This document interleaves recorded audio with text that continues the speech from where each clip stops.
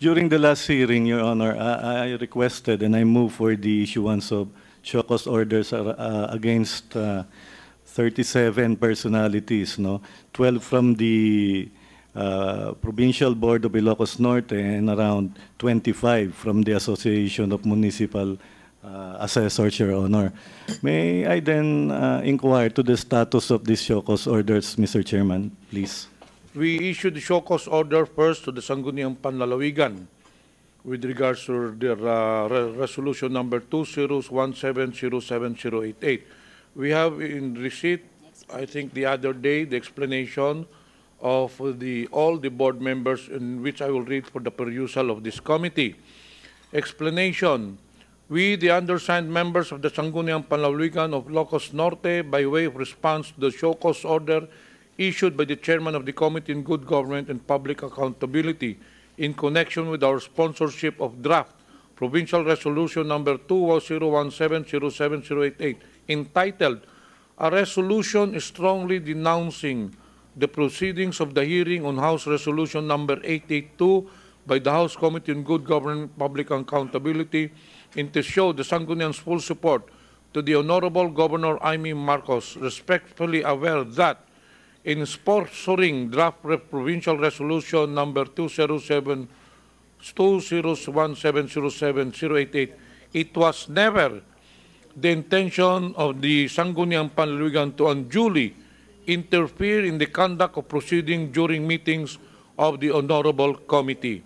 It bears emphasis that the measure was merely a draft which never saw the light of day since in the 48th regular session of the SB on 17 July 2017, consideration of the same was deferred and the measure was played in the archives. More importantly, we respectfully state to the Honorable Committee that the underside have no intention of retrieving draft provincial resolution number 2017070088 from the archives and therefore the said measure is for all legal intents and purposes a dead measure. Finally, we appeal to the Honorable Committee to consider our herein explanation as satisfactory and spare us of its power of contempt.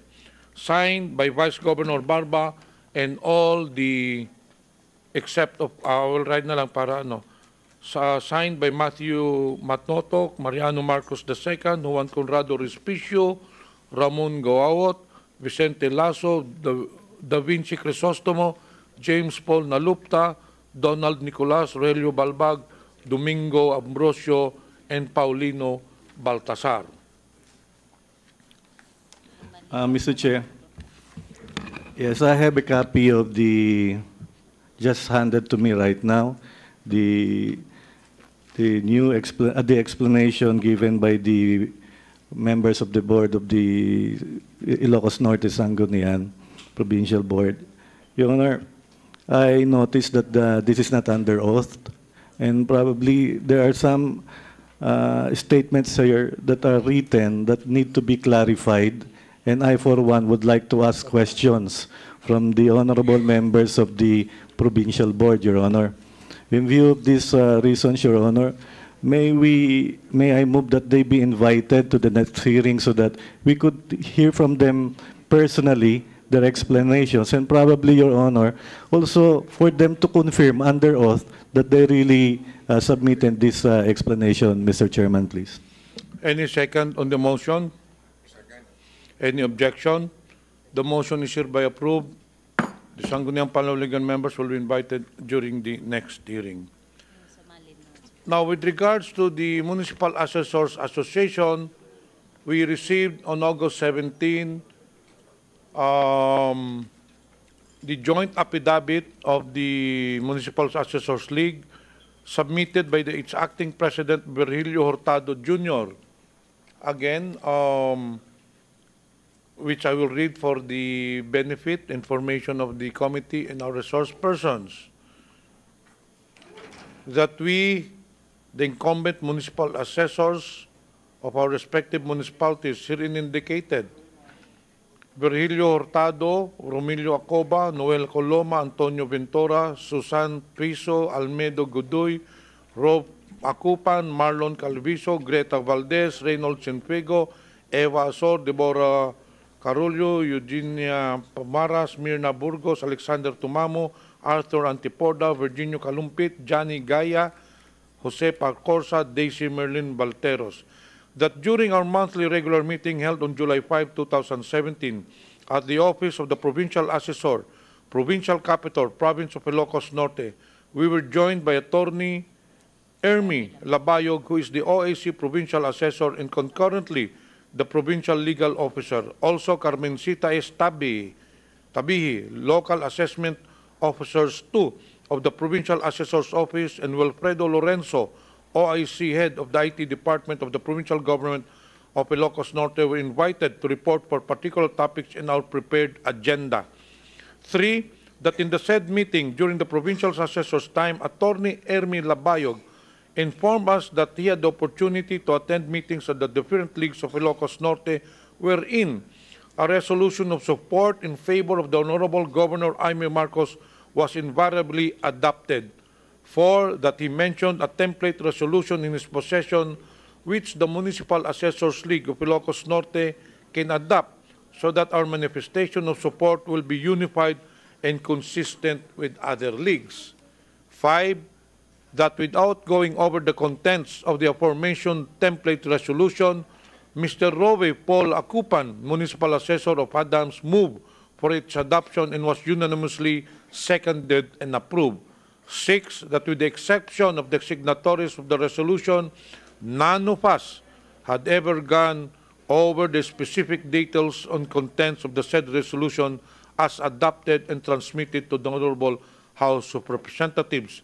Seven, that we sincerely extend our deepest apologies to the Honorable House of Representatives, particularly to the Honorable Chairman Johnny Tipin and all the members of the House Committee on Good Government and Public Accountability for whatever adverse effect our resolution may have caused.